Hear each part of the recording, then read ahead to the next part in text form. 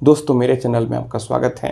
दोस्तों, आज के इस वीडियो में मैं आप लोग को बताने वाला हूँ कि यहाँ पर आर्य समाज मंदिर और कोर्ट मैरिज में दोनों में क्या डिफरेंस होता है। कई लोग यहाँ पर कहते हैं कि अगर मैं आर्य समाज मंदिर में शादी कर लेता हूँ तो फिर कोर्ट में मैरिज करने का क्या ज़रूरत है? यहाँ पर लोग के मन में अलग अलग तरह के सवाल होते हैं आर्य समाज मंदिर को लेकर और कोर्ट में मैरिज को लेकर तो आज के इस वीडियो में मैं इसी चीज़ को क्लियर करने वाला हूँ।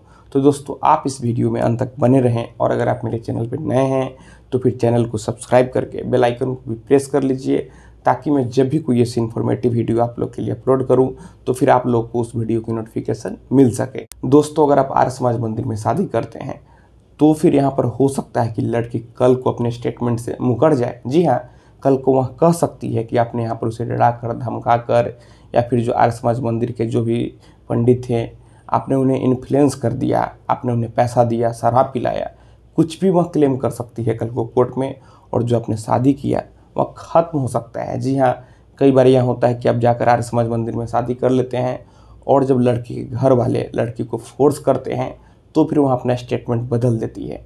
तो यहाँ पर अगर आप आर्य समाज मंदिर में शादी करते हैं तो वह शादी कहीं से सही नहीं है, यह पूरा खतरा से भरा हुआ है। जी हाँ वहीं अगर आप आर्य समाज मंदिर में शादी तो करते हैं लेकिन शादी करने के बाद अगर आप उस शादी को कोर्ट में रजिस्टर करा लेते हैं तो फिर यहाँ पर बेस्ट रहेगा। कल को अगर लड़की मुकरती भी है तो यहाँ पर उल्टे उसके ऊपर केस दर्ज हो जाएगा। जी हाँ यहाँ पर वह कल को यह नहीं कह सकती है कि कोर्ट में यहाँ पर ज़बरदस्ती उसे बुलाया गया, क्योंकि कोर्ट में जो भी अधिकारी होते हैं, जो भी मैरिज रजिस्ट्रार होते हैं एस होते हैं, वे खुद लड़की से पूछते हैं। तो कल को लड़की अपने स्टेटमेंट से नहीं मुकर सकती है। तो यहाँ पर आपको शॉर्टकट का रास्ता नहीं अपनाना चाहिए।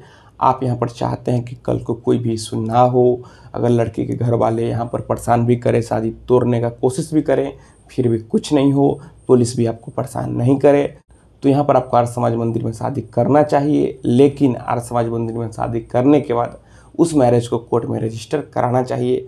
तो यहाँ पर अगर आप शादी करना चाहते हैं तो यहाँ पर आप चाहते हैं कि कल को आपके ऊपर कोई मुसीबत नहीं आए तो फिर आप किसी वकील से पहले सलाह लें।